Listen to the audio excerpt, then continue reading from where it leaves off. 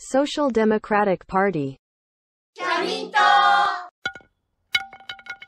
熊本県連合、全国連合。熊本県連合ジャーナル社民党熊本県連合が主催、連携、おすすめしている活動を報告します。11月25日土曜日に熊本県教育会館で実施された社民党熊本県連合副代表村上博熊本市議の市政報告会を報告します。テーマは命を大切にし、お互いの違いを認め合い、共に生きる社会。市政報告と合わせて、社民党熊本県連合副代表、橋村理香が医療的ケアを必要とする子供たちの豊かな学校生活を願う親の会代表として、娘、桃香と仲間たちに教えられたことと題した講演をします。講演後は、村上博市議との対談が実施されました。対談に娘に教えてもらった生き方橋村さん自体は小学校中学校高校大学と障害を持ったクラスメートとかそういう人たちはいなかったということですえーとですね、あのその時はですね複式学級という言い方をしてたんですけれど、はいあの障害のある子どもたちあの仲間たちはやっぱり、えーとですね、教室がいくつかあるんですが教室の端の方の教室にこうまとめてそこにこう押し込められるという言い方はおかしいかもしれないですけどそこにまとめてそあの何学年かの障害のある子どもたちが過ごしていました、えーえっと、クラスにおそらくいたと思います。おそらくいたというのはもう本当にもう曖昧な言い方で申し訳ないんですけれど、えっとえー学校が1200人のマンモス校で,、はい、で1学年が、えー200人ほど。でその中で1学年がえー1クラスが40数人。40数人わしゃわしゃいる中で、えーやっぱり障害のある子どもたちというのはこう弾き飛ばされているような状況だったのかなと今になって思います。でその時はもうそこもこう自分の中では考えていたこともなくて。で、えー同じクラスに障害のある子供仲間がいたはずなのに私はそこにこう目を向けることがなかったな、えーあそこに複式学級の人たちっていう言い方をしてたんですね。そこにいる人たち自分のクラスにいる誰かお友達と仲間ではなくて福祉学級にいるなんとか君とかなんとかさんみたいな感じで思っていて自分とは違うっていうこと。どっちかというとその福祉学級にあの通っている同級生たちはかわいそうな子どもたちっていうような刷り込みみたいなものになったんですかね。そうですね。なんかなんだろう。自分とは違うって思っていました。自分とは違う人たちだな。ここにいるけれどなんでいるのかなって思うんですけれど自分とは違う人たちだと。だからそれをもう1年生の時からそういう状況だったのでえーずっとその違うと思うことの違和感だったりとかそういったことは感じることがなかったなって今になって思います。それがその桃香ちゃんが生まれた時に、えー終わったと。自分の人生が終わったっていうことにつながっていってしまったっていうことですね。そうですね。ただ私があのその、えー動画を見て、えクラスの子どもたちが自分たちで考えて桃香ちゃんがどうやったら参加できるかっていうのとそれをこう見事に表現してるんですけども私も地域の学校に行ったんですけども地域の仲間たちと遊ぶ中で、えーまあ、ソフトボールをするわけですね。そうすると地べたに座って片手でバットを振ってそうすると、えーなかなかストライクが入らないのでピッチャーは文句ばっかり言ってたんですけどもそれでも私を外すことなくうちょうどいい高さに来たのをパカーンと打つと走る係の本がいて、えーそれでえーそうそうそう、えー一塁二塁とかって回ってですね、えーちゃんと私も参加できるように考えてくれたりとかあるいは運動会の時に私が腕立て、えー、逆立ちができるということを知っていた校長先生が、えー、56年生の種目なんですけども、えー、私にも参加しなさいと言って、えー、当該だったんですけども鉛筆をくれたとかですね。なんかそういうふうなそういうこう地域にいると一緒に育っているとそういうふうにいろんな人たちがいろんなふうにこう考えてくれる。っていうようなことがあるんですよね、はい、だからももちゃんももかちゃんから教えられて変わってよかったですね。本当によかったと思います。私が桃香が私のもとに私たち夫婦のもとに生まれてきてくれなかったら私は皆さんに出会うことすらなかったと思います。本当にも反対の人生を多分歩んでいたのではないかなと思うしあの障害のある子がもしも目の前に出てきたら地域の学校に行きたいなってその子がもしも言った時に「えー?」って「支援学校じゃない?」ってこの子にとって支援学校がいいんじゃない？だってそのために支援学校あるじゃんっていうような人間だったかなって思いますだってそれ支援学校がある意味ないじゃんって障害のある子供のためのだからっていう、まあ、以前のね、えー、橋村さんだったらそう思ったでしょうけどもももかちゃんから教えられて変わりました、そうすると今の、えー、社会ではインクルーシブ教育ということで、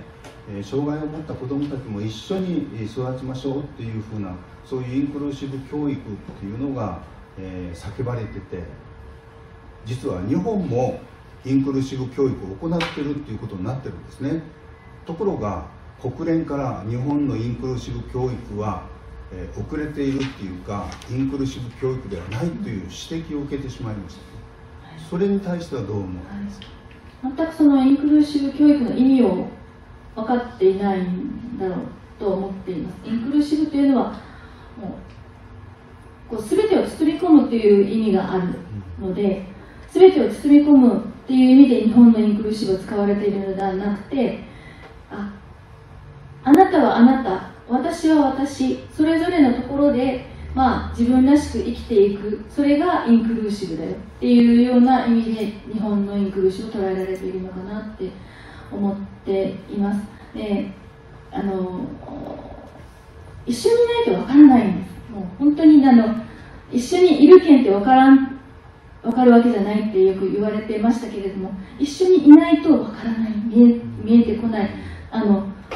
子供っていろいろ考えながらそこにいるわけではなくて本当にいると喧嘩もするし汚い言葉で罵り合いもするしお互いお互い傷つけ合うし殴り合うし、えー、掴み合うしそういうことをしながら自分も痛い思いをする。でも相手も痛い思いをしてるんだってそういうのことをこう子供同士の中で学んでいくんだと思うんです。で確かに障害のある子供がその中にいると桃かも言われました。何もわからんくせにと言われました。でそういう言葉をやっぱり子供は発するもんなんだなって私は思っていてそれがこう出る素直に出るからこそ子供なんだしそこで出たその子の背景はどうなのかとかそあなたがそう思った理由はな何だろうねっていうところでその子の心をこう解きほぐしていったりとかすることが大切なのかなと思うんですけどそこを今はこう全部こう避けていて嫌な思いをさせないようにこの子がここにいるとあの嫌な思いをするだろうからこっちに分けて違うところで勉強しましょう。でもあの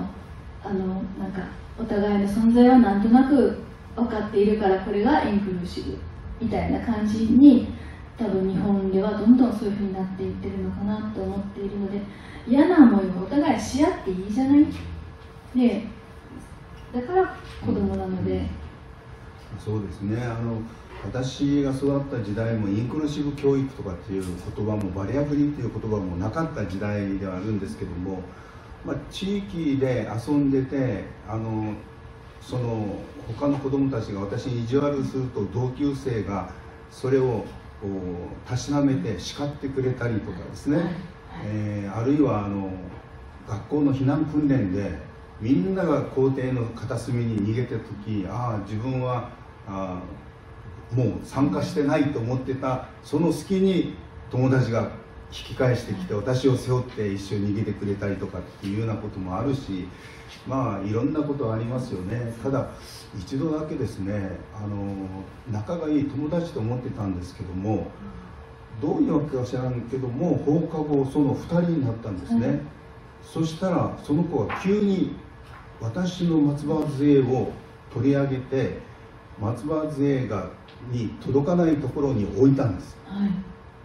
で普通私喧嘩する時に相手が向かってきたら松葉杖で あの反撃をしてたんですね。ところがそれを知ってるんでその松葉杖を取り上げて届かないところに行ってそこから私へのいろんな悪口を言い始めたんです。で周りにはそれを止める誰もいないわけですよね。で後で考えたんですけども実はその友達が小学校3年生の時だったんですけどもさしすせそうが言えなくて周りの子供たちからとてもこういじられてたんですね、はい。それに対して私はこうみんなからよくしてもらってるっていうことでそれがどうもあの気に入らないじゃないけども自分はいろんなこう形でこういじられて笑い物にされてるのになんで村上はみんなからあんなによくされるんだっていうふうなのがあったのかなって。だからねあのその時はそこまで思い浮かばなかったんですけどきっとそうだなと思って。でもその後あの中学校になったりとかするととてもいい仲のいい友達になって、まあ、今でも時々、うんあったりするんですけどもね、はい。はい。子供たちの世界にはやっぱりいろいろありますね。ね。でもそれを経験して乗り越えていって、はい。人との付き合い方っていうのがあるんでしょうけどね、それからすると今のインクルーシブっていう言葉だけが先行しているようなそんな感じですかね。あのちょっとさっきも少し言ったんですけれど嫌な思いをしてこそ多分村上さんもそうだし桃香もそうだったと思うんですけれどお互いにいるといいことばかりじゃないっていいことばかりがこう見えてくるわけではないのが多分一緒に生きていくことのあの一つの大きな側面かなと思っていてそこをこう今の学校こう避けよう避けようとしていて、えー喧嘩すらもしない、えーえー誰誰々と誰々がこう馬が合わないから別の部屋にしようとか。なんかじゃあじゃなくて一緒にいるにはどうすればいいのかをまず考えるべきなんじゃないのかなって思うんですけれどその桃香になんできくせにって言った男の子がいたんです2学年下の男の子だったんですがその彼の思いをずっとあの解いてみると彼自身もやっぱり辛い思いをしてたんですよね、えーえーちょっとお家の環境が厳しい状況であったりで自分は一人でこうお家で留守番をしていてやっぱり村上さんと同じ多分僕はこうやってこう一人でなんか頑張ってるのにももちゃんはすごくみんなにあの大事にされてって。その時に何もできんくせにって言ったそのきっかけがあのスイッチを足でスイッチをポンと押すと録音した言葉がこう流れてくるものをずっと使ってたんですけれどそのスイッチがなかなか押せなかった。でそのスイッチを押すのにみんな待ってるんですじーっと。じーっと彼女のタイミングが来るのをじーっとひたすら待ってるんですよね。でいつかは押してくれるっていうのが分か周り分かってる子供たちなのでじーっと待ってる。でそうやってこの娘のために使ってくれている時間っていうのを彼はとてもなんか悔しいというか、うん。僕にはそういう時間をもらえてないとか多分そういうふうに思ったのかなって思ってでその彼も中学校に入学した時にはもう桃香先輩って言って近づいてきてくれるようになって。はいはい。うん、やっぱりそういうふうにその、えーある程度時間をかけてでも一緒に過ごしたことが、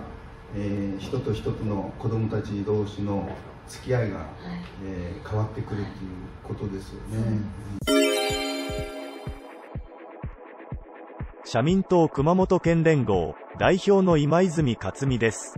橋村理香副代表は、就任後、精力的に県連合の広報として、皆様に様々な情報を届けています。そんな中で、橋村副代表自身のアカウント開設を切望する、嬉しい声をいただくようになっています。社民党熊本県連合副代表、橋村理香の SNS を紹介します。実は橋村理香副代表は、副代表就任以前から自身の Facebook での配信をしています。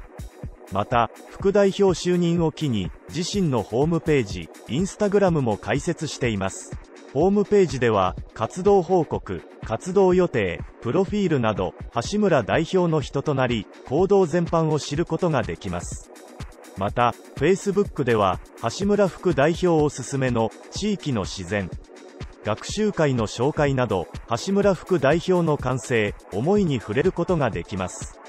インスタグラムでは、橋村副代表が日々の生活の中からの気づきを率直な言葉で語ります。党の広報とはまた違った、橋村副代表の一面を知ることのできる、橋村理科 SNS にも、ご注目ください。各アクセス先は、概要欄の、橋村理科 SNS 紹介コーナーに記載しています。ご利用ください。頑固に平和、暮らしが一番、戦争はさせない、それが社民党です。Social Democratic Party 社民党